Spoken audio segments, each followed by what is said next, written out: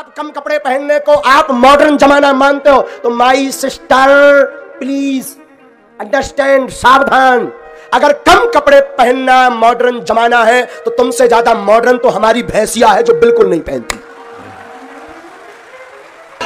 अच्छा रामायण देख के बच्चे सुधर जाते हैं। मुझे देख के बिगड़ जाएँगे। जय बालाजी जय बागेश्वर धाम। दोस्तों जब उर्फ़ जावेद ने उन छोटे छोटे कपड़े में जब बिच दरबार में पहुँचती है, तब बागेश्वर सरकार श्री धीरेन्द्र कृष्ण शास्त्री ने उसकी कपड़ों को लेकर इतना बेइज्जत किया कि वो दरबार से तुरंत बाहर चली गई। दोस्तों, आप खुद सुनिए कि शास्त्री जी ने क्या कहा।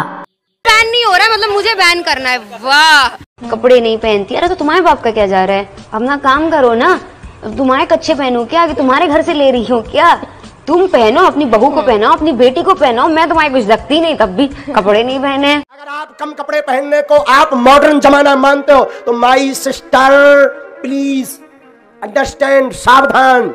अगर कम कपड़े पहनना मॉडर्न जमाना है तो तुमसे ज़्यादा मॉडर्न तो हमारी भैंसिया है जो बिल्कुल नहीं पहनती।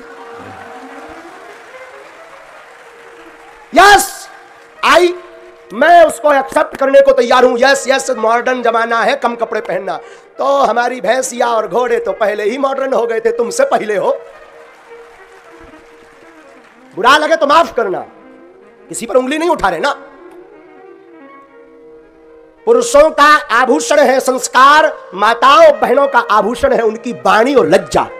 कोई लड़का अगर तुम्हें गंदी निगाह से देख रहा, एक बार टेढ़ी भौएँ करके और चाटा दिखाकर, चप्पल दिखाकर बात कर लो, उसके बाप में दम नहीं कि दोबारा तुम्हारी तरफ़ देखे।